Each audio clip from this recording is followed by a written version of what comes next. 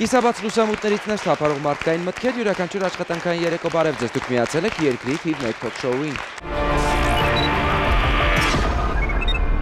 Նա կորցրեց մորն ու հորը, ունեցավ ծանր մանկություն ու երազեց երջանիկ ապագայի մասին։ 16-ամյա Լիլիթը հարսանիքի առաջին օրվանից նկատեց ամուսնու անտարբեր վերաբերմունքը, բայց լռեց ու համբերեց։ Անհասկանալի մեղադրանքներ, աղավաղված բարեկամական կապեր, ծեծ ու ջարդ, խանդի տեսարաններ։ Ինչ պատասխան հարված հասցրեց Լիլիթն ամուսնուն։ Ինչու են միմյանց մեղադրում այլ զուգընկեր գտնելու մեջ։ Ու ինչու Լիլիթի երեք երեխաները չեն ընդունում նրան։ Կիմանաք երկրի թիվ 1 թոք շոուի տաղավարում։ Պատասխան հարված կիսաբաց լուսամուտներից ներս։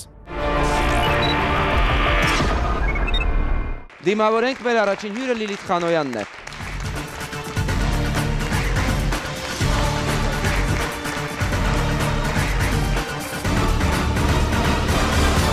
Եվ այսպես գյուղացիք 85 թվական, որտեղ եւ ծնվեցի ես։ Այո։ Տարի 6 ամսական եմ, մայրս մահացավ։ Ծնունդի վրա։ Ծնունդի վրա, այո, հոկտեմբերյանի հիվանդանոցում ծննդատանը մահացավ։ Ձեր խնամքի գործում, որքանով գիտեմ, նաև մասնակցություն է ունեցել մոր եղբայրը։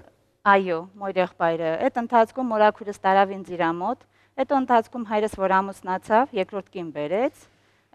Հայրս եկավ մորաքրոջս ասեց, թե Լիլիթին տանեմ տուն, էլի, Հայաստան ջան ասեց, մորակրոջս ասեց, տանեմ տուն։ Հա, ու ինձ տարել է, տարել է խորտ մորա մայրիկիս մոտ ենք մնացել։ Այնտեղ առաջի դասարան եմ գնացել, առաջի դասարանից հետո հայրս որ պետքա գնար պատերազմ, ինքնական պատերազմ էր գնալու։ Ինձ առաջի դասարան ուղարկեց ու ինքը գնաց, հենց այդ օրը։ Մի տարի այտենց մնացի խորտ մորս մոտ։ հա։ Ինչ կերպ էին հարաբերությունները։ Ինչպես էր ընդունում ձեզ։ Սովորական, ոչ շատ լավ, ոչ շատ վատ։ Դե բնականաբար խորտ մայրա չի կարող, ասենք, հալալ մորին մոր նման ինքը լավ վերաբերել։ Հավատացեք, շատ խորտ մայրեր կան, որոնք նույնիսկ բիոլոգիական մայրիկներից դե, լավն են լինում։ Հազվադեպ։ Իհարկե, բայց կան։ Հա, հազվադեպ։ Ու այդպես ընթացքում անընդհատ կռի վեճեր։ Որն էր այդ պատճառը։ Դա ինչ որ հատուկ վերաբերմունք էր, դա զգում էիք, որ ձեզ այնպես չի վերաբերվում, ոնց որ պիտի կամ կարելի է։ Դե գիտեք ոնց, ինչ ասենք, մենք անընդհատ մենք մեր մորն էինք ուզում։ Ահա Անընդհատ մենք մեր մորն էինք ուզում, դե գիտեինք, որ արդեն մայրը չկար։ Արդեն համակերպվել էինք այդ մտքի հետ, որ ինքը խորտ մայր է ու ինքն է մեզ պահողը։ Հետո որ հայրիկս գնաց Ղարաբաղ, արդեն էլ չենք կարողանում հաշտվենք իր հետ։ Իսկ ինչ ինչ վարք էր դրսևորում խորտ մայրը, ինչ վատ։ Ինչպես էր վերաբերվում ձեզ որ դուք զգում եք խորտ զգում եք մայրը խորտ մայրը լավ էր վերաբերվում իսկ ասենք իր քույրը վերաբերմունք չուներ խփում էր ծեծում էր վատ բառեր էր ասում հաց չէր տալիս ամեն ինչ ամեն ինչ գուցե եւ չեք ցանկանում բարձրաձայնել կամքը ձերն է որոշակի պատճառ ինչի հետևանքի մասին ենթադրում եմ գոնե կարող եք խոսել քույրիկս մի քիչ վատառող չէր դրա պատճառով անընդհատ տունը վեճ էր անընդհատ կռիվ էր խորտ մորակույրս միշտ ջղայնանում էր քերս էլ որ եկավ ու շշով ծեծում։ Հա։ Ինչ է դա նշանակում։ Վառում։ Այո։ Ցավոք այո։ Հետո քերս եկավ մեզ տարավ շաբաթ կիրակի օրեր, եկավ մեզ տարավ իրանց տուն։ Մեր որ տարավ իրանց տուն, ես ասեցի քերի, ասել չենք ուզում այդ հանգնդե։ Ասես Լիլի ջան, պատճառը ո՞րն է։ Ասի ուղակի չենք ուզում այդանք, մեզ լավ չեն վերաբերվում իրանք։ Չեմ ուզում այդամ, ուզում ենք ստեղ մնանք ու քերս մեզ վերցրեց իր մոտ, պահեց իր մոտ։ Որ անընդհատ քերս որ տանում էր իրանց տուն, ընդեղի ջերմությունը, ընդեղի ասենք քնքշանքը, ընդեղի այդ ամեն ինչը որ տեսնում ենք, ինքնիկյան չէինք ուզում էլ արդեն հետ գնայինք խորտ մորս մոտ։ Ճիշտ է, մեր հայրական օջախներ, բայց չէի ուզում այդ այ։ Ու տենց մնացինք քերենցս տունը։ Քերենցս տուն մնացինք, Անցավ մի քան որոշ ժամանակ իր երեխաներն էլ էին փոքր։ Մորակուրիս ասեց Պարքև ջան, ասեց, այսքան երեխա դու չես կարա պահես։ Ավելի լավ կեղնի, արի կլինի Լիլիթին տուր տանեմ, ես պահեմ։ Քանի որ մայրիկս հենց ծննդաբերելու ժամանակ հայրիկիս ասել էր, որ Վանիկ Լիլիթին կտանես, կթողես մորակրոջ մոտը, Հայաստ քրոջս մոտ, Հայաստանի մոտ Դե մորակույրս էլ որպեսի մորս հոգին հանգիստ լինի, ինձ տարավ իրա մոտ նորից։ Գնացին այնտեղ դպրոց մինչև 5-րդ դասարան։ 5-րդ դասարան, 6-րդ դասարանում նորից քերիս եկավ, բա Հայաստան Լիլի հասմիկ առանց Լիլիթի չի կարում մնա։ Թող երկու քուր իրարից չբաժանվեն։ Մորկուրս էլ ասեց Պարքև ջան, ասեց ես իրանց չեմ կտրում իրարից։ Թե եթե քուրն ուզում է, ես ինչ կարամ անեմ, տար։ Քերս ինձ վերցրեց, տարավ իրանց տուն։ Գնացի այնտեղ դպրոց։ Մի բան հարցնեմ, իսկ հետո որ գնացիք ձեր խորտ մոր, մորակրոջ հետ, շփում չկար, կապ չկար։ Բոլորովին։ Ես ընդհանրապես մինչև առ այսօր իրանց չեմ ներում։ Բայց քույրիկը ունի կապ։ Քույրիկս այո, քույրիկս գնում է, գալիս է։ Ում ծեծել էին շշով։ Հա։ Փոքրիկ դաթար մեր եթերում, որից հետո մենք կիմանանք ինչու է մեր այսօրվա հյուրը դպրոցն ավարտելուն պես որոշում ամուսնանալ եւ ուր է այսօր հայրը։ Փոքրիկ դաթարը մեզ երկար ժամանակով չի բաժանի, հերո մի գնացեք։ Հայկական հերոստատեսության միակ սոցիալական թոք-շոուն ավելի քան 4 տարի վեր է հանում հասարակական տարբեր շերտերի խնդիրներ։ Դրանց փորձում է լուծում գտնել կիսաբաց լուսամուտներ բարեգործական հիմնադրամը։ Շնորհակալություն, որ մեզ հետ եք միասին մենք կարող ենք ավելին։ Հայրիկի պատերազմ գնալուց հետո որքան ժամանակ անց դուք լուրջ չստացաք նրանից։ Մինչև առ այսօր։ Բայց դուք ունեք արդեն այն չարաբաստիկ սև թուղթը, որը ժողովուրդն ասում է։ Այդ բերել են։ Այդ բերել են, երբ ես մորակրոջս տանն էի։ Ահա։ Որ թվականներ։ Երևի 6 տարեկան էր։ Անհայտ կորած է սկզբից ճանաչվում ձեր Սկզբից հայրը։ անհայտ հա, անհայտ կորած է ճանաչում, հետո սև թուղթն է գալիս, մորակրոջս են բերում տալիս զինվորները։ Բերելով տալիս են ասում են թե Վանիկը էլ չկա։ Պատերազմի ժամանակ ինքը գերիա վերցվե, հետո գերի վերցնելու ժամանակ ժամանակ ինքը բան է արել։ Այնտեղ չի ուզեցել թուրքերին գերի մնա, ինչ որ պայթեցրել են, չգիտեմ ինչ են արել։ Մի խոսքով ինչ եղել է պատերազմի տեղում ա եղել։ Մինչև առ այսօր ճիշտ է ինքը թուղթը բերել են սև, բայց ես հələ որ սպասում եմ։ Չեք հավատում։ Չեմ հավատում ու չեմ էլ հավատա։ Ես գիտեմ, որ իմ papas պետքա գա։ Անպայման։ Կարևորը զգացողությունն է, որը ձեր ներսում է։ Մեզանից յուրաքանչյուրի համար անկախ ֆիզ, ֆիզիկական վիճակից ծնողը ողջ է ու ներսում է։ Իմ մո- մոր հոգին էլ մինչև առ այսօր իմ հետ անընդհատ ճիշտ է, ինքը չկա, բայց ես գիտեմ, որ ինքը կա։ Իր հոգին միշտ իմ հետ է։ Կարևորը դա Ամեն է նեղ պահին, այո։ կարևորը այն այն է, որ ներսում դա ձեզ հետ շարունակում է լինել։ Դպրոցն ավարտելուն պես ինչու որոշեցիք միանգամից ամուսնանալ։ Թե դա որոշում չէր պարզապես հանգամանքների բերումով էր։ հանգամանքների բերումով էր, քանի որ ես չունեի ծնողներ, քերիս ընտանիքը շատ մեծ էր։ Հետո որ այդ տղան եկավ ինձ տեսնելու, չէին ուզում քերի այնքս ճիշտ ասած ամուսնացնեին, բալիլի ջան դու դեռ փուճուր ես, հələ ահագին տարիք ունես, ուսում ստացի, նոր հետո նոր կամուսնանաք, ասեցի, չէ, ասեցի, ես այդ տղուն ուզում եմ, եթե չտա կփախնեմ։ Դա 16 տարեկանում, Այո, երբ որ դուք ստացաք 16 տարեկանում էի։ 8-րդ դասանի կրթություն, չավարտեցիք նույնիսկ ամբողջովին Այո, դպրոցը։ չավարտեցի, չհասցրեցի ավարտեի։ Չուզեցիք։ Թե ուզեցիք։ Դուք եք երկու ոտքը դրել մի կոշիկի մեջ եւ ասել, եթե չամուսնանամ, ուրեմն կփախնեմ։ Այո, եթե ասի չտակ այդ տղուն, ես կփախնեմ, ես իրան սիրում եմ։ Դե առաջի հայացքից երբ տեսա այդ տղուն, սիրուն տեսքով աշխատող, հետաքրքրվեցի, որ ինքը աշխատող էր ու ես որոշեցի, որ պետքա կյանքս կապեմ հենց իր հետ։ Հիմա անկեղծ ասած տարակուսած եմ, դուք գեղեցկությանն եք հմայված եղել, թե Դե բնականաբար իր աշխատասիրությանը։ աշխատասիրությանը, ոչ գեղեցկությանը։ Ինչի եմ ասում, որովհետեւ առաջին համենը դեպի ձեր խոսքի մեջ գեղեցկությունը շեշտեցիք Այո, եւ դե երկրորդը միայն տղամարդու գեղեցկությունն էլ այո, պետքա որոշակի։ Քրոջս միշտ ասում էին, ամուսինը պետքա գեղեցիկ լինի, պետքա բոյով լինի, պետքա անպայման խելացի ու աշխատող լինի։ Ու հենց այդպես էլ եղավ։ բոլոր շափորոշիչներին համապատասխանում էր։ Այո։ Ու ինչպես դասավորվեց արդեն Լիլիթի ամուսնական կյանքը, երբ չկար ուրիշ ոչ մի բան եւ միայն այն հմայքն էր ու երազանքները, որոնք կարող էին ուղեկցել Լիլիթին դեպի փայլուն մեծ ընտանեկան լավ ջերմ կյանք։ Այո, ամուսնանալուցս հետո ես մեծ ակնկալիքներ ունեի, որ կգնամ այնպիսի ընտանիք, որ իրոք ինձ կհասկանան, ինձ կընդունեն, որոշակի առումով թեկուզ եւ ասենք թերություններ էլ ունեի։ Զուտը ոչ մայրական քնքշանք տեսնելով ու ոչ հայրական։ Ես մտածում էի, որ հենց այդ օջախում ես կտեսնեմ այդ ամեն ինչը, բայց իմ ակնկալիքները լրիվ չստացվեց, այսպես ասած, չստացվեց։ Դա էլ ինչպես ժողովուրդն է ասում, սիրուն տղայի խերը։ Այո։ Իրականում Արարատի հետ խնդիրներ ցակեցին հենց նշանադրությունից հետո, երբ ամբողջովին ուշադրությունը դուք էիք ձեր հարաբերություններում, այսինքն եւ զանգելը, եւ հետաքրքրվելը, նա կարծես ձեզանով որևէ կերպ չէր ապրում, դուք էիք հարաբերությունների տերը։ Այո, այո, ես այդ ժամանակ որ դեռ ը, նշանված էի, անընդհատ ասենք իրան զանգում էի, անընդհատ իր հետ խոսում էի, ասում էի արդ, ասում էի դու մենք ամուսնը վե- նշանված ենք, դու չես բանանում, ասենք մի հատ գազ կոնե տեսնես, հետաքրքրվես կամ ասենք զանգեսին, դե վերջը ես քո կինն եմ, չէ՞։ Հա, ինչ կա զանգելու, գործ եմ անում, գարաժ եմ սարքում, ժամանակ չունեմ, ժամանակս չի հերիքում։ Ասում եմ, այնքան ժամանակը չի հերիքում, որ դու 5 րոպե չես կարող ինձ տրամադրես։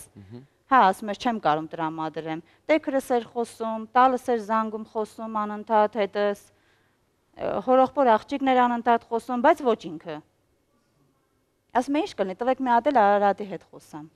Ասում եմ, չէ, Արարատը գործ է անում, գարաժ է սարքում կամ տունը չի։ Ի վերջո դա ձեր հետ չկանգնացրեց որոշումից։ Ոչ, այդ չկանգնացրեց, դե մտածելով կարող է իրոք տղամարդ է հիմա աշխատում է, իրոք գարաժ է սարքում։ Ես զարմանում եմ կանայք ոնց են կարողանում իրենք իրենց համոզել ու արդարացնել յուրաքանչյուր հանգամանք։ Ներեցեք։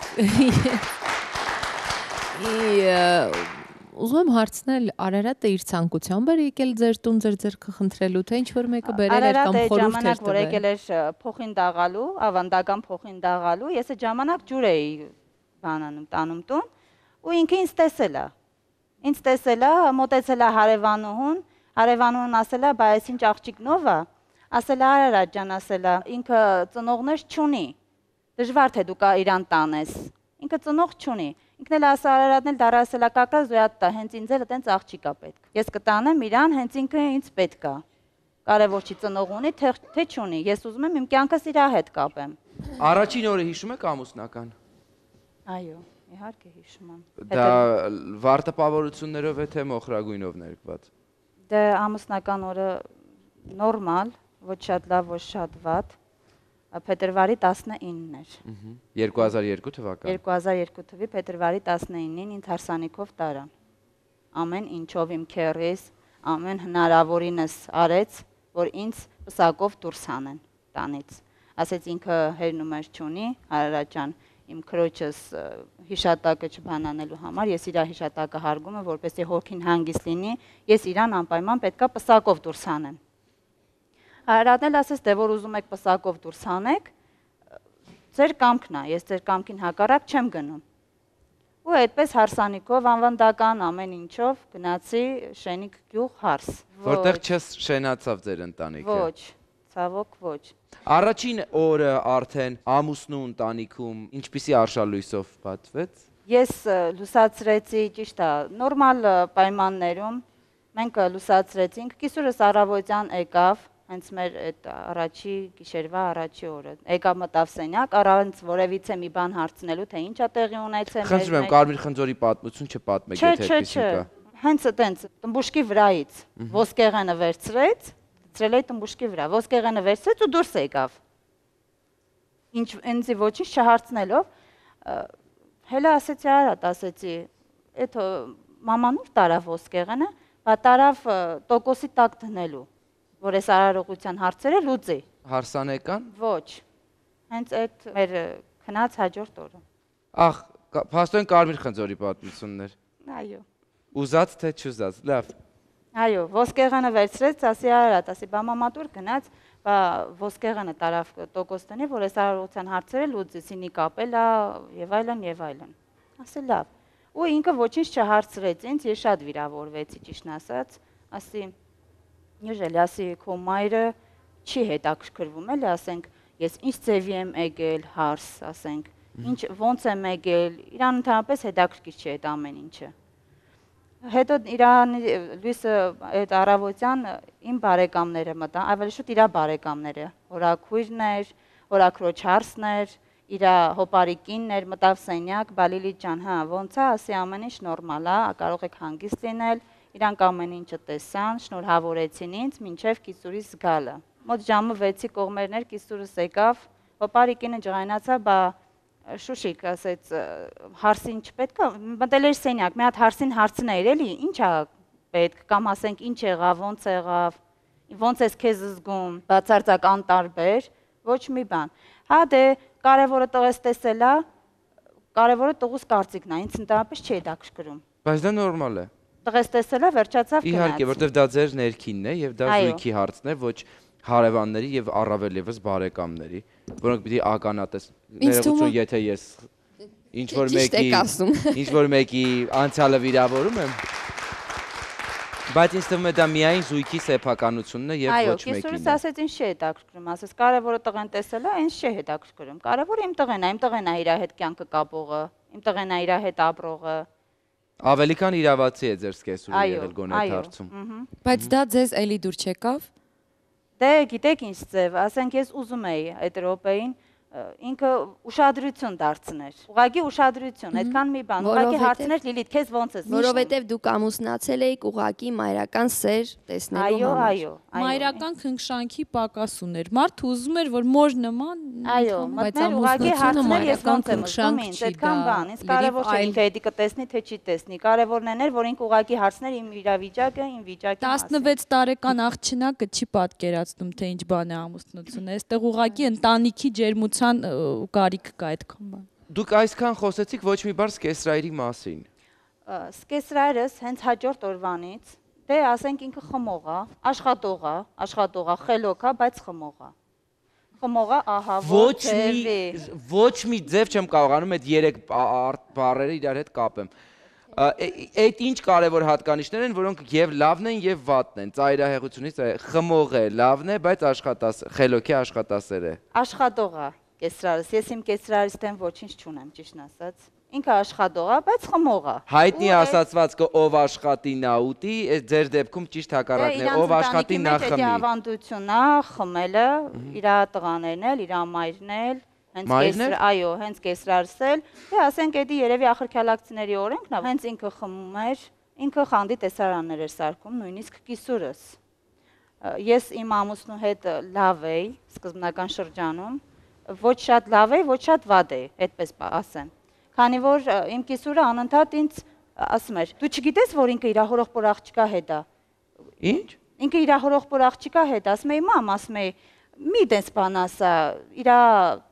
հորողբոր աղջիկը ամուսինը որ մահացել է Լեննականից, ինքը եկել է իր հորական տուն, իր երկու երեխեքի հետ։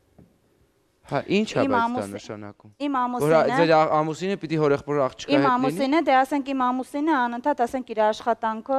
ասենք բերում էր սիրտն էր շահում, դուխիներ էր նվիրում, ժամացույցներ էր նվիրում, Գուցե դա ուղակի եղբայրական սեր է Այո, այո, եղբայրական սեր ա եղել։ Ես հենց այդպես եմ ինչև առ այսօր էլ ես հենց այդպես էլ կարծում եմ, որ դա եղել է զուտ եղբայրական սեր։ Բա ինչի էր մայրիկը նման հայտարարություններ անում։ Մայրիկը նման հայտարարություններ էր անում, չգիտեմ, երևի խանդում էր, թե իր տղուն էր խանդում, թե ինձ էր խանդում, ոնց որ անընդհատ ուզենար վեճեր սկսեր, անընդհատ ոնց որ ուզենար ինչ-որ բան, չգիտեմ, չէր ուզում մեր մեջ համերաշխություն, հաշտություն լիներ։ Ամեն րոպե գալիս ասում էր, «Ը, այ խելար, այ միամիտ, հելի գնա, հելի գնա տես, տես ինչ անդ է կատարվում։ Ասում էի, մա, հա դե հիմա ինչ անենք, իր Դե գնայիք տեսնեիք աղջիկն ա»։ մի անգամ ինչ Չէ, է ես ինձ կատարվում։ թույլ չտվեցի։ Ճիշտն ասած, մի անգամ տեքորս տեքորս ասի, ասի ազատ, ասի, որ մաման ինչ որ ասում է։ Ճիշտ է, իրականությունն է, տեքորս խնդաց։ Տեքորս որ խնդաց, իմ մեջ ես բան արեցի, թե ինչա խնդում, ասի ազատ, խես խնդում, ասի ճշմարտությունն ասա, ես հաստատ իմանամ իրանց մեջ ինչ որ բան կա, ճիշտ ասած չեմ էլ հավատում ես, բայց ուզում եմ քեզանից իմանամ, դու իր աղբերն ես, սկան ժամանակ իր հետ ես մնացեք, իմանաս ինչա կատարվում։ Բա ասեց, այ խելար, ասես ոնց էլ հավատում ես։ Ասա ես չեմ հավատում, ուղղակի որ քո մաման է ասում, հենց իր տղու վերաբերյալ, հենց դրա համար ես իմ մեջ ցավ եմ ապրում։ Ոնց կարող է պատահի, ասենք, մայրը ուզենա իր տղու ընտանիքը քանդի, զուտ ասենք իր հորողբոր աղջիկա միջնորդությամբ եւ այլն եւ այլն։ Իսկ այդ հորեղբոր աղջկա հետ հարաբերություններ Շատ ունեի։ լավ, շատ լավ։ Իմ իր հոր եղբայրն էլ, հոր եղբոր աղջիկն էլ։ Ես այդ ամեն ինչը հաշվի չառա։ Ասի դե մայրա երևի ծնողա ինչ որ մի բան ուզում է ասի կամ ինչ որ մի բան ուզ թերություն է ինչ որ մի թերություն Իսկ ուզում է խանդի այլ դրսևորումներ էլ կար, բացի այն, որ հորեղբոր աղջկա հետ է եւ այլն։ Այո, իմ կեսուրս ինձ խանդում էր իմ ամուսնու հետ։ Ինձ իմ կեսուրը ինձ ասում էր ավել շուտ ինչ չէր ասում, հենց ամուսնուս ասում էր կինդ գեղեցիկ է, կինդ բոյով է, ուշադիր եղի, բան ծնող չի տեսել, Բայց ես սկիսուր մայրիկ ուրախացել է որ նման գեղեցկուհի հարցուն ինչ եք Ես իմ դժգոհում։ ինչ ծևի դաստիարակություն պետքա տեսած եղնի, անընդհատ ուշադրության կենտրոնում պահի իրան։ Միշտ ուշադրություն դարձրի ու միշտ հետևի իրան։ Անկամ երբ ես գնում էի ներքև, կա- բնական կարիքները հոգալու, ինքը Արարատին ասում էր հելի լուսամուտից նայի տեսում ա նայում։ Տեսուր ա նայում։ Լիլիթ, իմ համար մի տարօրինակ երևույթ եւս կա այս պատմության մեջ, որ յուրաքանչյուր ընտանիքում կա ընտանեկան լուսանկար, ճիշտ է, որը կենտրոնական մասերից մեկում է լինում։ ձեր մեր տանը այո, մեր ամուսնական նկարը ես որոշեցի, որ փակցնեի հենց տմբուշկի վրա, սերվանդի վրա։ բայց ինչի փոխարեն, ինչ Ինչի նկարի փոխարեն։ փոխարեն հենց ամուսնուս ու իր հորեղբոր աղջկան նկարի փոխարեն։ Այդ ժամանակ ես երբ վերցրեցի այդ նկարը, որ իմ նկարը ու ամուսնուս նկարը հարսանեկան պետքա դնեի, իմ իր հորեղբոր աղջիկը մտավ ներս, այսենց մունաթով, թարսուշի տակ նայելով ինձ ման, ես չպատկերացրեցի, ասեն կարող այդ բան ինքը վատ զգա իրան, որ ես ասենք իմ ամուսնու ու իմ նկարն եմ ուզում դե փակցնեմ։ Սենց մի տեսակ բանով դարա նայեցի, ասի «Ա- Արմենոյ, ասի, ի՞նչ ա եղել ու ամուսինս այդ րոպեի մտավ ներս։ Ասեց, «Այդ ի՞նչ ա եղել» ու ինքը վերցրեց ամուսնուս թեմը, նկարը ճղեց։ Ձեր համ։ Իրա իրան իր- իրանց նկարը, իրանց նկարը ճղեց, ասի Արմենոյ, ասի, «Խի ճղեցիր այդ նկարը»։ Բա երեք մեկ այսօր երկուս կնիկը տեկելա, ուզում ա բանը նկարը հանածեղնի, թող հանի, Արարատ, հանկարծ էլ չդնես։ Այդ բանին ամուսինս ինձ մի հատ հարվածեց։ Ամուսինս ինձ մի հատ գտնում, որ հարվածեց, բա- սկեսուրը հնարավոր է ճիշտ է եղել։ չգիտեմ ճիշտ ա եղել թե չէ, դե արդեն իրանց խնդիրն է, ես Բայց չեմ դուք հավատում։ հասկացաք, չէ՞ պատասխանը։ Ու ինքը ճղեց այդ նկարը, ամուսինս որ հարվածեց, տալս եկավ մոտիկ, տալս ամուսնացած չէր այդ ժամանակ։ Տալսը մոտիկ եկավ, ասեց՝ «Արա, ասեց, խես խփում»։ Ասեց՝ «Չհասկացա», ասեց՝ «Երեք մեկ այսօր երկուս եկել է, ուզում ա նկարը հանա ձեղնի»։ 3-1 այսօր 2 եւ երրորդի դեպքում ինչ է լինում, մենք կպարզենք փոքրիկ դաթարից հետո։ Սա կիսաբաց լուսամուտներն է, հերո մի գնացեք։ Պատասխան հարված կիսաբաց լուսամուտներից ներս բարի երեկո, եթե մեզ նոր եք միացել, ծանոթացեք այսօրվա թեմային։ Նա կորցրեց մորն ու հորը, ունեցավ ծանր մանկություն ու երազեց երջանիկ ապագայի մասին։ 16-ամյա Լիլիթը հարսանիքի առաջին օրվանից նկատեց ամուսնու անտարբեր վերաբերմունքը, բայց լռեց ու համբերեց։ Անհասկանալի մեղադրանքներ, աղավաղված բարեկամական կապեր, ծեծ ու ջարդ, խանդի տեսարաններ։ Ինչ պատասխան հարված հասցրեց Լիլիթն ամուսնուն։ Ինչու են միմյանց մեղադրում այլ զուգընկեր գտնելու մեջ։ Ու ինչու Լիլիթի երեք երեխաները չեն ընդունում նրան։ Կիմանաք երկրի թիվ 1 թոք շոուի տաղավարում։ Պատասխան հարված կիսաբաց լուսամուտներից ներս։ Ամուսնական կյանքի ընթացքում դուք եւ ամուսինը ունեցաք 3 երեխան։ Այո, ունեցանք 3 հրաշք երեխաներ, Փարքաստո։ Ես երջանիկ էի իմ երեխաներով։ Քանի որ իմ մանկությունը շատ դաժան էր անցել, ես անընդհատ ինձ նվիրում էի իմ երեխաներին, ամեն պահին։ Կոպիտ մայր եմ եղել, չեմ ժխտում, բայց շատ եմ սիրել իմ երեխաներին, մինչև առեսօր էլ ես Կոպիտ թե խիստ։ խիստ խիստ մայր եմ եղել դե իրանք ագրեսիվ բնավորություն ունեին նամանավանդ փոքր տղես ահա որ ագրեսիվ նույնիսկ ծնված օրվանից ինքը իր ագրեսիան արդեն ցույց էր տալի մինչև առեսօր ես իրան չկարողացա այն հունին կանգնեցնել որ ինքը ասենք հանգիստ երեխա ու այդ ձևը իմ երեխեքին պահեցինք մեծացրեցինք 5 տարի հետո ծնվեց իմ աղջնակը Ու հիմա եկանք ամենակարևորին։ Դուք այսօր 7 ամիս է հնարավորություն չունեք երեխաների հետ լինելու։ Երեխաների հետ լինելու հրաշ ջան, անընդհատ խանդի տեսարաններ, խանդի տեսարաններ։ Սկեսուրս փեսու հետ է խանդում, տալիս ամուսնու հետ։ Հորակրոջ, Արարատի հորակրոջ թորի հետ է խանդում։ Հիմա էլ խանդում է իր հորակրոջ տղու հետ։ Իբր ես ու իր հորակրոջ տղան իրար հետ ենք, ամբողջ գյուղը հենց այդ է լցրել մեր մեջ յան իբր հարաբերություններ են եղել եւ այլն ու երեխեքից միշտ անգամ տրամադրում եմ դեմ մամա տամբարոյական է, մամա սենց է, մամա տնենց է, որ հանգարց կգան, քարերով խփեք, մորակ պատկերացրեք, մորակրոջս հետ գնացել եմ իրանց տուն, որ երեխաներից տեսնեմ։ Մոտ մի քանի օր հետո։ Միշնեք տղես, այսպես քարը վերցրես, խփես մորակրոջս գլխին։ Նոր այդ րոպեին հարևաններից մեկը հասավ վրա, թե այդ տղա ամոթ է, այդ ինչ ես անում, մեծ կին է։ Թող թողեն ստեղից ռադները քաշեն այդան։ Այդ կարգի տրամադրելա իմ դեմ իմ երեխեքին։ Ոնց ստացվեց, որ հանգամանքները դասավորվեցին հենց այն կերպ, ինչ կա այսօր։ Ինչպես ստացվեց, որ դուք դուրս եկաք Հենց այդ տանից։ խանդի հողի վրա։ Ձեզ հանեցին տանից, թե դուք որոշեցիք դուրս գալ։ Ինքը անձամբ հենց ինքը իր մեքենայով ինձ տարավ Քերենցս տուն։ Ահա։ Հերախոսի խոսակցության համար, որ իբր Արմենը զանգել էր ինձ, ես զանգել էի Արմենին։ Արմենը ով է։ Արարատի հորակրոջ տղան։ Իսկ ինչու եք դուք զանգահարում Արմենին։ Ինչպես։ Ինչն էր պատճառը եղել, որ զանգահարել էիք։ Ամուսինս որ միշտ տեղ էր գնում, ինձ ասում էր հանգարց իմ հերախոսի վրա չզանգես, չհետաքրքրվես ես ուրեմ։ Ես էլ ստիպված ես գիտեի, որ ինքը Արմենի հետ էր, ասի զանգեմ Արմենի հեռախոսի վրա։ Զանգեցի Արմենին, ասի Արմեն, ասեցի, որտեղ եք։ Բա ասեց խանութի մոտ կանգ նստած ենք մեքենայի մեջ։ Ասի, բա ինչ եք անում, ասեց խմում ենք։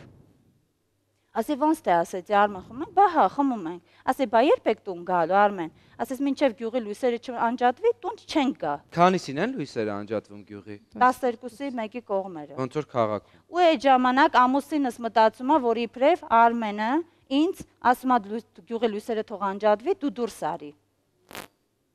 Հարբած վիճակով ինքը ակնկալում է, որ իբրև Արմենը ինձ է դուրս հravirում, բայց այդպիսի բան չկա։ Ես հարգելիներս սրպապիղծ չեմ, ես իմ սրբությունս պաշտում եմ։ Այդ հարցի շուրջ երկու եղբայրներ չեն զրուցել։ Այդ ժամանակ, որ ամուսինս եկավ, բա վեշերը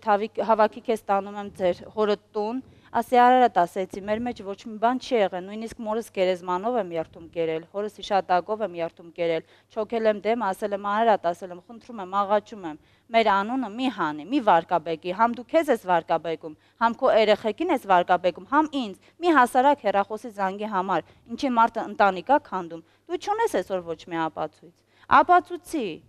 Ինքը բա չէ, վեշերը հավաքի քեզ տանում եմ քերոտ տուն։ Ինքը վեշերը հա- հավաքել տվեց, ես իմ շորերս մի երկու շոր վերցրեցի այդ տանից։ Նստեցի մեքենան, ողբալով, աղջիկս հետևիցս վե- այսենց վերցրի, բանը, շալվարից ոչից վերցրելա։ Մամա ջան, մի գնա, մամա ջան, մի գնա։ Մելինե ջան, տանում եմ մամային հիվանդանոց։ Մի քանի օր հետո կբերեմ։ Նախնական որևէ կերպ հնարավորություն չեղավ ձեր ամուսնու հետ կապվել, բայց այսօր մենք ունենք ուղիղ կապ հաստատելու հնարավորություն եւ այս պահին ինձ հուշում են, որ կա արդեն ստեղծված կապ ձեր ամուսնու Արարատ Գրիգորյանի հետ։ Բարի երեկո։ Ձեզ զանգարում է Հրաչ Մուրադյանը, կիսաբաց լուսամուտների տաղավարից։ Դուք այս պահին եթերում եք։ Կարող եմ մի քանի հարց տալ ձեր կնոջ վերաբերյալ Լիլիթի։ Ո՞րն է պատճառը, որ արդեն ամիսներ շարունակ դուք միասին չեք։ Այդ հարցը ինքը ինձ լավ գիտա, պրոստը ինքը իրանից բաներ ավրենը, պատճառը լուրջ է, ահավոր։ Ա, Խոսքը վերաբերում է ձեր հորաքրոջ տղային Արմենին։ Այո, ահա։ Դուք վստահ եք այդ հարցում, որ կինը դավաճանել է ձեզ նրա հետ։ այո։ Ունեք ապացույցներ, օրինակ Արմենի հետ զրույց, որով հաստատվում է եղածը։ Այսօր հրաշ ջան, իրանց ինչքան էլ ուզում ես ասա, բայց իրանք սա հատկազեն են, բայց այսօր շատ փաստեր կա ստաղնել, գիտես, առաջին իր հարազատությունը մի օր չի եկես 6 ամիս անցել է որ այսօր ուբա չի եկե տեսե թեմա արդեն սա բարձ է որովհետև ցենք ահագին ժամանակ անցել է ոչ մեկն էլ այդ թեմայի շուրջ չեն եկել հետո ինչ-որ սրուց անեն Ձեր կնոջ միակ դավաճանության դեպքն է դա, թե մինչև դա ինչ որ բան նկատել եք նրա պահվածքի վերաբերյալ եւ ձեզ դավաճանված զգացել։ շատ բաներ եմ նկատել, պրոստը կասկածել եմ, սել եմ կարող է թուրնացուն հենի բան, բայց իրոք համոզվելու համար մի օր իրոք հետևել եմ ու պրոստը սեք իրանց փորձակցությունները որ կրանան խանանք զապիսել իհարկե ես պրոստը ինքը հիմա որ ապացուցե էդիա ես կրանամ այդ ապացուցները ես կրանով ապացուցեմ որ ժամադրվել են ես ինչ օրը դելն են ու գնացել տենց Խոսքը մի դեպքի է վերաբերվում, թե մի քանի։ Այդ արանքում ահագին բաներ եմ նկատել, ես էլ եմ ինչ-որ վերցնենք հարազատ մարդիկ ենք էլ, ես որ չմտածեմ ուրիշ բաների վրա, որ ասեն կասկածեմ էլ իրանց, բայց փաստորեն չէ, դες չի եղել։ Իրոք իրականությունը էդի է, վերջում ասենք իրանց խոսակցության հետ միասին բռնել են, ինչ են խոսացել, ուրենք պայմանավորվել ինչ են եղել։ Ինչ վերաբերում է տարիներ առաջ պատմությանը, խոսքը ձեր հորեղբոր աղջկան է վերաբերում։ Արմենուհուն։ Այն, որ քիչ առաջ ձեր կինը դեռևս օրինական, ոչ նախքին, ասում էր, որ մայրիկը ժամանակին պնդում Հրաշան։ Կներես, լեդի ինչ են մեզ բերում, ես չեմ հասկանում, ես ենք այսօր ինքը փաստ ունեն, ենք բաժանվելու, էդի կար, այդ հիմ կար, այդ հիմնավոր ապացույցը ինքը ուներ, որ այս խոսքի եմ եղել, չէ՞։ Այսօր ինքը մարդու զբարդում է, բայց այսօր այդպես բան ինքը ուղղում է մա ես ենք իր հետ եմ եղել, ինքը դիպարտադիր ուրիշ է դեռ, հա։ Մենք բայց երեխեք ինչո՞ն են մեղավոր։ Այսինքն չեք շղթում, որ եղել է նման բան։ Հրաշ ջան, չէ, ինքը պրոստ այսօր ընկել է ծառու քարի արանք, այսօր սրան էլ կրասա, այն դրան էլ կրասա, որ ինքը ասենք խոսքի այդ բաները։ Ինքը լե թոմդած իր արարքների համար նոր անցնի ուրիշներին, էլի շկաբ ունի բացարձակ դրա հետ։ Կրա բացա։ Ձեզ Լիլիթն ասել է, որ դուք դավաճանել եք, նա ձեզ պատժում է կամ նույն կերպ է պատասխանում։ Դե բազոն յասած դեր կա գալ, որ ցենք դից է եղել։ Լավ, երեխաների հարցը ինչ կերպ է լուծվելու։ Քիչ առաջ ես լսում էի մի պատմություն, որ երեխաներին տրամադրում եք մոր նրա հարազատների դեմ, անգամ միջադեպ է եղել, երբ նրանք եկել են ձեր տուն քարով հարվածել են Լիլիթի մորակրոջը։ Դուրում ես այսօր այդ երեխեքը իրոք չի սիրեի։ Այդ երեխեքը իրոք չգիտեմ աղջիկը ոնց, բայց այդ երեխեքը չեն ընդունում իրանց մորը։ Դուք այսօր ունեք բացառիկ հնարավորություն խոսելու կնոջ հետ հարց ունեք ամուսնուն այս 7 ամիսների ընթացքում, որ չեք կարողանում շփվել եւ Եթե ինքը ապացույցներ ուներ, եթե ինքը ապացույցներ ուներ, 7 ամիս ինչի համար չի ապացուցում։ Պատճառը ո՞րն է։ Պատճառն է, որ լավ է գնացի Գուրը քեզի ոչ մեններ տեղ չեն տեղ։ Նախ առաջինը քու հարազատներ քեզի դուրս են շփրտե։ Նախ դու մնացել ես անտեր։ Անտեր ես մնացել, որտեղ ոչ մեններ քեզի տեղ չեն տա, ոչ էլ կընտունեն։ Առաջինը։ Երեխեքից բռնալ։ Դու այսօր չդեմ իս քալել ես դեմում, կիսաբար դու այսօր երեխա պահանջի, ես դա դի դու քիչ ես անում բա։ Որովհետև չունեմ հնարավորություն։ Դրա համար է մինչև 7 ամիսա չես, այսինքն չեմ կարողանում որ տամ դատի ու ապացուցեմ իմ անմեղությունը։ Հա, չէ, դե չէ։ Էդի մերես կոպերներ այդ ադիտալը։ Գիտես ինչ, այսօր հարազատություն չէ, դե եմ շեշտում։ Ու հարազատություն, ես այն դեպքն որ էսի դու ես քեզիսել եմ, դու ես մարդը եղել իրոք կարծ այդ մարդը։ Դուք իրար չեն գալու, մենք 1000 դրամ մարդա որ դնեն, այդ դատնել կենեն, երեխեքին է կպահանջես։ Իսկ որ հարազատության մասին է խոսքը։ Արա, ձերոնք, մերոնք, ես ինչ գործում ես, ձերոնք ինչի իրար չեն գալու, արա, սա հանի շփրտին դուս։ Իսկ ոչ մեկն էլ չի հանը շփրտել դուրս։ Բոլորն էլ ընտանիքներ ունեն, բոլորն էլ հարս ունեն, բոլորն էլ իրանց ընտանիքներով են։ Ես մինչև երբ պետք է ուր սրա նրա տունը մնամ։ Սդես գնա շարունակ միշտ ուզում ես, ես իմ երեխեքին, նրանց քեզի բանեմ Դու իմ մայրը չես որ երեխեքի կրանաս պարես։ Այսինքն Այսինքն Միջև է դու երեխեքի ջերմությունը, երեխեքի մինակ եք արդեն դուք ես շփրտել ու խոսացել ես։ Փաստեր կա երեխեքը խոսանես հիմա ուրիշ ոչ մեկ չէ։ Այսինքն այդ երեխեքը ուրիշից էին, հա, ես էլ այդքան թշնամաբար իմ երեխեքին ծեծում, ջարդում, դուրս էի շփրտում։ Արա դու ծնող ես, այս հայրը ինձ բան ժամանակ ես դրսի պատեմ։ Ես աղա դուս եմ եղել։ Դու այդ երեխեքի ունես։ Ես որ ինչի քեզ չեն ընդունում, բայց հարցս կրած։ Հրաշ ջան, 12 տարի ընդհանրապես տեղյակ չի եղել։ Տեղյակ չի եղել թե իմ երեխեքը ինչով են սնվել, իմ երեխեքը ինչ են հակել, հակուստեղեն է ինձ բերել է իմ մորաքույրը, քույրս, ուտելիքն էլ ես գնացել եմ խանութից պարտկով բերել եմ, իմ տեկրս, ամուսինս, կեսարս աշխատե փակվել են։ Բայց կոնկրետ իրանք չեն իմացել, ինքը անձամբ չի իմացել իմ երեխան օրվա ընթացքում ինչա արե։ Ինչով է սնվե։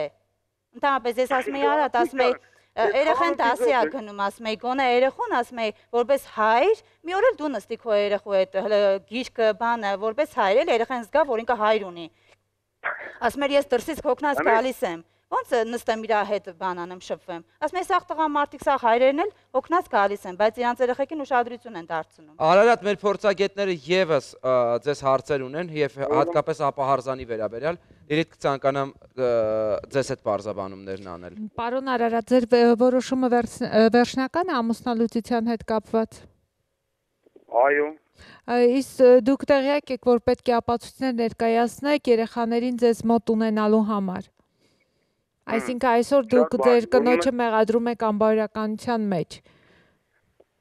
Հա, հենց վադե դա որ այսօր գիտես ինչ կա կամերան փճացած է հեռախոսի չկա նկարեի դենցել այսօր ես չեմ կրա այդ ապացուցեմ դրանով բայց կրամ ապացուցեմ ցենց հնարավորություն կա վիվասելից իրանց խոսակցությունները անենք սաղը լսեք որ իրոք ինչ ու դե սապշենիներ կա իրար ինչ են գրել ոնց են գրել որ ժամ որ ժամին են դուրս եկել որ ժամին են հանդիպել այդ իսկ կրանք լսենք ու իրոք փաստ է դա Էդի կրանք ասենք խոսքի կրանանք հանենք, ապացնենք, թե չէ Իսկ մնացած։ ձեր հորեղբոր ը, հորաքրոջ տղան ինչ է պատմու- պատմում այդ ամենի մասին։ Ժխտում է թե ասում է հաստատում է։ Այսօր հրաշ ջան, ինքը ինչի է ասի հա, որ այսօր ինքը խայտարակ եղնել, ինքը ոնց կարող ասի հա։ Ինքը պրոստը խոսակցության ընթացքում Հրաշ ջան, ես ես իմը- ուղակի խնդրում եմ, քանի որ ես այսօր չունեմ ոչ մեկ, ոչ ծնող, ոչ բարեկամ, իրոք։ Եվ որևէ մեկը ով կարող է Այո, ապացուցել այո, ձեր ես ձեզ իրավացի եմ, լինելը, իրականում տարօրինակ է մի քիչ, որ ձեր բարեկամներից եւ ոչ մեկ ով Այո, կետես իմ գրկաբաց ձեզ ընդունում, այո, ոչ ես մեկ ձեր կողքին ներկապային չէ։ մենակ եմ, ես ձեզ խնդրում եմ, եթե հնարավոր է, ստի դետեկտորը անցնենք, ես ապացուցեմ, որ ես այդ մարդը չեմ։ Ներողություն, դուք եք պատրաստ պոլիգրաֆ սարքի աշխատանքը ստուգել։ 100% 100% 100% ես պատրաստ եմ։ Շատ լավ, երկուսիդ է առաջարկում եմ, եթե պատրաստ եք երկուսդ էլ մենք կստեղծենք այդ հնարավորությունները եւ Լիլիթ ձեզ համար եւ պա- Բարձրացություն ես վստահ եմ որ էդի process-ը 100% ինքը տեսնում այդ բանը ես կանազեմ թող ինքը իր ճիշտ ասի ես էլ ինձ ճիշտ է Իսկ եթե այնուամենայնիվ parzvi որ ենթադրենք Լիլիթը իրավացի էր եւ նման բան չկա, ինչ եք անելու այդ դեպքում։ անելու ել ուզում ուզի խնդրեմ բայց դες ճիշտ չկա այսօր նորը։ Եթե եթե լինի,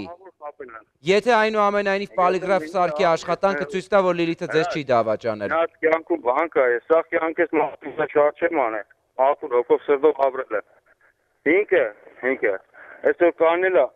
այդ տարբերակ չունի, Գելայցյանյան։ Տարբերակ չունի։ Իսկ այսօր ով է ձեր երեխաներին հոգ տանում, խնամում։ Է, Իմ ամաս հարսիկ է։ Ձեր մայրիկը քանի տարեկան է։ 52 տարեկան։ Շնորհակալ եմ պարոն Արարատ հարցերին գոնե հերախոսով պատասխանելու համար։ Հիշեցնեմ, որ մենք այս պայն ուղիղ կապի մեջ էինք Արարատ Գրիգորյանի հետ, ով մեր հերոսուհու ամուսինն է։ Փոքրիկ դաթարից հետո կվերադառնանք տաղավար եւ փորձենք ողջել ինչ լուծումներ կան ստեղծված իրավիճակում իրավական, բարոյական եւ հոգեբանական առումով։ Իր ստեղծման առաջին իսկ օրից կիսաբաց լուսամուտներ բարեգործական հիմնադրամին վստահեցին շատերը։ Մարդիկ, ովքեր ցանկություն ունեն օգնելով դիմացինին, օգնել առաջին հերթին իրենք իրենց։ Շնորհակալություն, որ մեզ հետ եք միասին, մենք կարող ենք ավելի։ Եվ Լիլիթ ուզում եմ առաջնահերթ հասկանալ ձեզ հետ կարելի եւ հնարավորի սահմանները, ապա հարզանի եւ մնացյալի վերաբերալ։ Մինչ այդ ես մի քանի հարց ունեմ Տիկին Լիլիթին, ինչու ձեր ազգականները ձեզ չեն ընդունել իրենց տանը։ Իմ ազգականները բոլորն էլ ընդունել են իրանց տանը, քանի որ իրանք ունեին հարս, թոր։ Դե բնականաբար ես էլ որ անընդհատ երեխեքի համար նեղվում էի, անընդհատ բան էի անում, մորակրոջս տուն եկա ես։ Դուք վստահ եք, որ ցանկանում եք ամուսնալուծել, թե պարզապես ը, Ես իմ վիրավորանքն է ձեզ մոտ։ առեսօր սիրում եմ, սիրել եմ ու կսիրեմ, անգամ ինչ որ լինի։ Եթե ինքը ցանկություն ունի այսօր ինձ անբարոյական հանելով բաժանվի, թող բաժանվի։ Լավ, եթե ապացուցվի, որ դուք իրավացի եք, որևէ ամբարական չ- չկար ձեր կողմից արված, դուք պատրաստ եք վերադառնալու ամուսնու մոտ։ Երեխաներիս խաթր, այո։ Դա ինձ թվում է ամենա ը, մեծ արդարացումն է, որը կինը օգտագործում է տղամարդու հետ Այո, կողքին հարաբերություն։ լինելու համար, ճիշտ եք։ Բայց նոր ասացիք, որ սիրում եք ձեր ամուսնուն։ Ձեր երեխաները այստեղ ինչ կապ ունեն։ Դուք ձեր ամուսնուն եք Ես սիրում, իմ ուզում եք նրա ամուսնուն մոտ սիրում եմ, բայց եթե ինքը ուզում է ինձանից բաժանվի, զուտ Ինձ անբարոյական մոտ հանելով։ տպավորություն ինքը ուզում է չստեղծվեց, ինձ- որ ինքը իսկապես ուզում է բաժանվի։ Եթե ուզում է բաժանվի, խնդիր չկա։ Ես Ձեր ամուսինը նաև այդ հարցը ձեզ էր ուղում, ասելով, որ եթե դուք ցանկանում եք ամուսնալուծվեք, ես ապա չեմ կարող եք ցանկանում, եթե ես գրադարան ցանկանա, դիմել։ ինքը շատ շատ էր ասում, որ ես ուզում եմ բաժանվեմ եւ այլն, իսկ ես չէի ն- բան անում։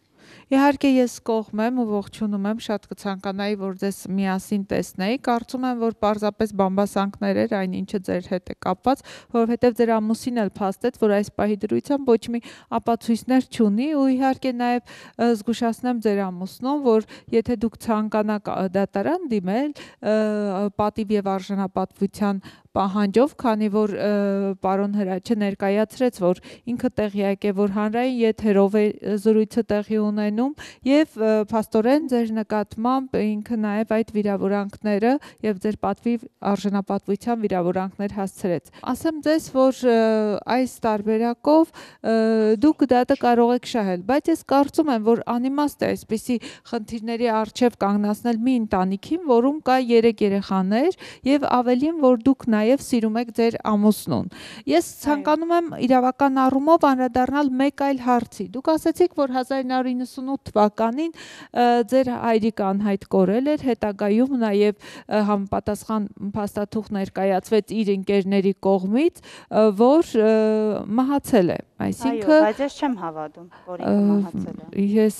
ուզում եմ, որ դուք միշտ իրեն ձեր ամբողջ հոգում ու ամբողջ կյանքում կենթանի զգացողություն ունենաք իր նկատմամբ ու բնական այս թվում յուրաքանչյուր անձներ ծնողներին երբ ֆիզիկապես մեր կողքին չեն լինում հիշում ենք իրենց հիշատակը մեր հոգով բայց այստեղ իրավական հարց կա դուք ժառանգություն ճանաչել եք ձեր հայրիկին ընդունել եք ձեր ժառանգությունը ձեր հորմահից հետո Ճիշտն ասած տեղյակ չեմ։ Ես ձեզ պարզապես խորհուրդ կտայի, որ ավելի շատ ուշադրություն դարձնեիք այդ հարցին, որովհետև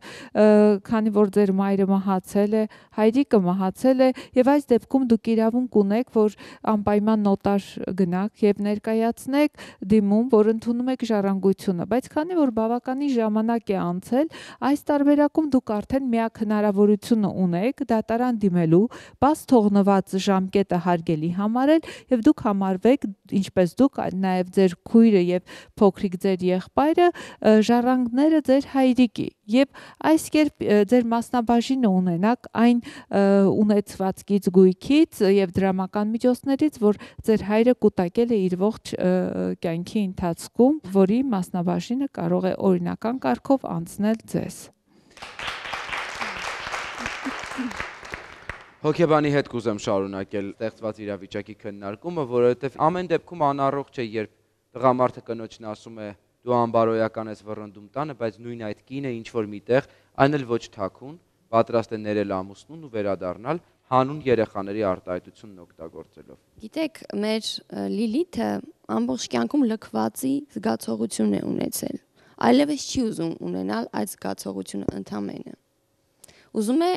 ամեն կերպ պահպանել այն ընտանիքը, որը հույսով ստեղծել էր, որ կունենա սեր այդ ընտանիքում, կտեսնի մայրական ջերմություն ստացվել է, չի ստացվել, դա արդեն մի փոքր այլ հարց է։ Այստեղ նաև ակնհայտ է, որ ըստ պատմածի իհարկե, ես դեռ չեմ տեսել սկեսուրին, սակայն սկեսուրի մոտ կան կպչուն մտքեր։ Մեկ Լիլիթը սրա հետ է, մեկ դրա հետ է, որը ի վերջո հանգեցրեց նրան, որ ամուսինը դեռևս փաստեր չունի, բայց տանից դուրս է հանել իր կնոջը։ Երեխաների հարցով այո, կա ճնշում երեխաների վրա, որpիսի չշփվեն մոր հետ։ Դա հնարավոր չի 12 տարի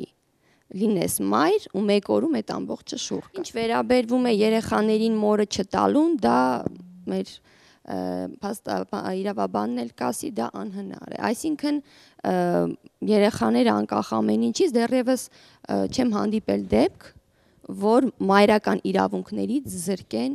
Միայն թե ավակի դեպքում 13 տարեկանի դեպքում նա արդեն որոշելու հնարավորություն ունի եւ կարծիք ասելու, եթե չեմ սխալվում Լիլիթ, այս դեպքում նրա կարծիքը հաշվի են առնելու դա։ Դուք այնքան իրավական հարցեր եք քննարկում այստեղ, որ ինձ թվում է ձեր իրավական գիտելիքներով ինչ չեք զիջում։ Մենք կոնկուրենտներ ենք այլևս։ Ես ինչու չանդրադարձա երեխաների խնդրին, որովհետև ես այստեղ չնկատեցի ամուսնալուծության խնդիր։ Այո Հետևաբար դա էր խնդիրը, որ ես չանադարձա երեխաների խնդրին։ Բայց ես կարող եմ ուղակի ընթացակարգը ներկայացնեմ իրավական առումով, միգուցե շատ հերոստադիտողների համար այդ հարցը հետաքրքիր լինի եւ միգուցե դա էլ օգնի իրենց իրենց հարցի լուծում ունենան։ Եթե տիկինը ցանկանա ամուսնալուծություն, ապա պետք է այդ ամուսնալուծությունը կամ լինի քաղաքացիական կացության ակտերի գրանց համատյանում ամուսնալուծությունը գրանցելու կամ դատական կարգով։ Եթե ցանկ երկուսի համաձայնությունը կա, ապա այդ դեպքում դուք պետք է համապատասխանաբար տվյալ մարմինը դիմեք։ Իսկ եթե ոչ, պետք է դիմումով ներկայանաք դատարան։ Դատարանը կորոշի երեխաների խնամակալության հարցը, քանի որ հիմնականում նման հայցերում որպես երրորդ անձներ է գրավում խնամակալության եւ հոգեբարձության խորհուրդը, որը համապատասխանաբար տալիս է իր եզրակացությունը, թե երեխաների խնամքը եւ հոգատարությունը ումը պետք է հանձնի եւ ում մոտ երեխաները իրենք իրենք ավելի ճիշտ դաստիարակություն եւ խնամ կունենան։ Տվյալ դեպքում հիմնականում երեխաների խնամքը հանձնվում է մայրերին, որովհետեւ մայրերը ավելի շատ կապվածություն ունեն երեխաների հետ։ Բայց նաեւ օրենսդրության համապատասխան, եթե երեխայի 11 տարին լրացել է, ապա երեխան իրավունք ունի իր կամքը արտահայտելու, այսինքն ցանկությունը թե տվյալ դեպքում ծնողներից ում մոտ է ցանկանում մնալ։ Եթե անգամ ամուսնալուծությունը գրանցելուց հետո էլ միևնույն է երկու ծնողները հավասար իրավունքներ եւ պարտականություններ ունեն երեխաների նկատմամբ, այսինքն նրանց իրավունքներ եւ պարտականությունները խնամակալ նշանակվելու կամ խնամքին հանձնելու դեպքում դեռևս չի կարող տարբերակվել եւ անհամաչափություն այս դեպքում չի կարող լինել։ Միայն այդ դաստիարակությունը եւ խնամքը մեկ ծնողին հանձնելով, մյուսին զրկելով այդ իրավունքներից, դա դատարանը միայն անում է, երբ լինում է հիմնովին պատճառներ։ Հիմնականում մայրերի դեպքում դա լինում է, երբ նրանք հոգեկան ոչ նորմալ վիճակում են գտնվում կամ անբարոյական վարքագիծ են ունենում, որոնք կարող է անմիջական ազդել երեխայի դաստիարակության վրա։ Իսկ տղամարդկանց դեպքում թմրամոլությունը եւ ալկոհոլի չարաշահում կամ օգտագործումն է, որը դատարանը կրկին շատ մեծ ուշադրություն է դարձնում։ Ձեր դեպքում կարծեմ երկուստ էլ բավականին խելացի լուրջ մարդիկ եք ու այս դեպքում կարծում եմ, որ դա ձեզ չի վերաբերվի։ Այս դեպքում ասեմ նաև իրենք ունեն կիսելու բան իդեմս անշարժ գույքի, որովհետև 2010 թվականին ունեն համատեղ ձեռք բերված սեփականություն, եթե մենք քիչ առաջ անցում էինք կատարում հայրական տանը, որից նա կարող է դատական կարգով չափաբաժին պահանջել, տարիներ անց ժառանգություն չճանաչելու ժամկետները խախտելու պատճառով, ապա այսօր նա լիիրավ հնարավորություն ունի նաև ամուսնու հետ համատեղ կյանքում ձեռք բերված գույքի չափաբաժին ունեն։ Օրենսդրությունը այդ մասով նույնպես անում է իր մեկնաբանությունները, համապատասխանաբար, եթե համատեղ կյանքի ընթացքում դուք ձեռք եք բերել անշարժ գույք կամ կուտակել եք դրամական միջոցներ, ապա դա չափորեն պետք է բաշխվի երկու անձանց միջև։ Այսինքն դուք տվյալ դեպքում կարող եք նաև դատարան նորից հայցադիմում ներկայացնել, պահանջելով ձեր մասնաբաժինը եւ դա օրինական է, հիմնավոր է եւ դատարանը բնականաբար այդ այդ դիմումը, հայցադիմումը կբավարարի։ Տվյալ դեպքում ասեմ ձեզ, որ նաև ամուսիններից յուրաքանչյուրը նաև կարող են դիմել ապրուստավճարի համար, եթե ամուսիններից մեկը գտնվում է վատ առողջ վիճակում, հաշմանդամ վիճակում կամ երեխաները իր խնամքի տակ են գտնվում, այդ դեպքում արդեն երեխաների համար պետք է դիմի ապրուստավճարի։ Ես համաձայն եմ մեր փաստաբանի հետ, որովհետև այստեղ ըստ էության մեծ գլոբալ խնդիր գոյություն չունի, պարզապես մարդիկ պետք է հասկանան, որ ընտանիքը դա մեծ կառույց է, որը հիմնվում է հոր, մոր եւ երեխաների վրա եւ որքանով ամուր կլինի այդ ընտանիքում մոր դերը, այնքանով այդ ընտանիքը ամուր կլինի։ Ես կարծում եմ դուք ինքներդ պետք է կարողանաք ձեր մեջ որոշ հարցերի լուծում գտնել եւ կարողանաք երեխաներին էլ ձեր հարաբերությունների մասնակից չդարձնել եւ թողնել, որ իրենք իրենց մանկությունը վայելեն փորձեք Լիլիթ ջան մտածել ոչ մեկ տեսանկյունից, հա, կոնֆլիկտը միակողմանի չի լինում դա լինում է երկկողմանի։ Փորձեք յուրաքանչյուրը ձեր տեսանկյունից գտնել այդ կոնֆլիկտի լուծումները եւ համագործակցել միմյանց հետ։ Ներողություն, էլի մի բան ասեմ։ Այստեղ հնչեցին կարծիքներ, որ բաժանություն չեք տեսնում, կոնֆլիկտ այդքան մեծ չի, բայց չէ որ ամուսինը པարզ ասաց, որ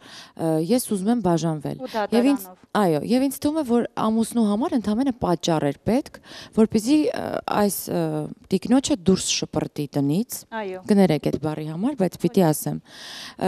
Ու ինքը, չգիտեմ, իր համար երեխաներին չգիտես ոնց է պահում, ինչ է անում, նշվեց որ հարբեցողների ընտանիք, այնտեղ մայրը արդեն 60 քանի տարեկան է։ Ես կարծում եմ, որ հստակ ամուսինը որոշել է ու սա ընդամենը պատճառ է։ Ուզում եմ հարցնել, դուք աշխատում եք։ Ոչ։ Իսկ կարող եք աշխատել։ Այո, իհարկե։ Եթե լինի աշխատանք, ես 7 ամիսը աշխատանք եմ մանգալի, որ ուր գնում եմ, ասում են աշխատանքային փորձ չունես, աշխատանքային բան չունես, չես կարող աշխատել եւ այլն եւ այլն։ Իսկ այդ դեպքում երեխաներին ինչպես պիտի պահեք, եթե ձեզ մոտ լինեն։ Եթե ունենամ կացարան, ես իմ երեխեքին կաշխատեմ, կպահեմ, ինչ աշխատանք ուզում ա լինի։ Դուք կացարան եք ուզում։ Այո, կացարան թեկուզ մի անկյուն ինքը ինձ տրամադրի, որ ես իմ երեխեքի կողքը լինեմ, դուրս կամ աշխատեմ։ Եվ կացարան եւ երեխաներին եւ աշխատանք։ Դե այստեղ բարթիկ ունեն համատեղ սեփականություն, որը կարելի է ուղակի բաժանել երկու մասի, եւ ես կարծում եմ, որ դուք կարող եք ապրել ձեր երեխաների հետ, պետք է որ ապրեք ձեր երեխաների հետ, աշխատեք եւ ապրեք, կյանքը շարունակվում է։ Այսինքն որքանով դուք կհարգեք ինքներդ ձեզ եւ կպաշտպանեք ձեր իրավունքները, այնքանով դիմացինը կհարգի ձեզ եւ կհամակերպվի ձեր իրավունքների պաշտպանությանը։ Այսօր դուք ձեզ դրել եք զոհի կարգավիճակում եւ չեք պաշտպանում ձեր որևէ իրավունքը։ Ուրեմն եկեք առաջին հերթին դուք ոտքի կանգնեք եւ սկսեք ինքներդ ձեզ սիրել ու շրջապատը կսիրի ձեզ մի բան էլ դուք տարիներ առաջ սխալ եք գործել հենց այդ նշանադրության հետ կապված ես այստեղ էլի առիթ եմ ունեցել խոսելու այդ մասին որ կանայք ու աղջիկները չեն կարողանում հենց սկզբից անել քայլը դուք ոչ լավ ոչ վատ անելով եկել հասել եք այստեղ ու հիմա էլ վստահ եմ որ ձեզ ինչ որ մի մասն է բաշտ մասն է բաժին տան կամ չգիտեմ երեխաներից մեկին տան էլի դուք գող կնստեք չէ պիտի պահանջեք պիտի պայքարեք պիտի աշխատեք իմ այստեղ գալու հիմնական պատճառն է նա որ ես ստամ դատարան, ձեր օգնությամբ դուք օգնեք ինձ ստամ դատարան, ես իմ պատիվ արժանապատվությունս պահեմ։ Որոշումը այնուամենայնիվ ձերն է, ապա հարզան, թե համատեղ կյանք թվացial սիրելի ամուսնու հետ։ Լիվամանի հետ միասին արդեն པարզ է, որ մնացած հանգամանքները, կիսաբաց լուսամուտները բարեգործական հիմունքներով կկարողանա ձեզ տրամադրել եւ ձեզ համար այդ ամենը կազմակերպել։ Մնացած արդյունքների մասին մեր արդեն ամփոփիչ թողարկման ժամանակ։ Շնորհակալություն բոլորին ուշադրության համար, եթե դուք էլ ունեք հարցեր, որոնց պատասխաններ եք փնտրում, եկեք դա անենք միասին 060 50 33 17 այսօր այսքանը, ցտեսություն։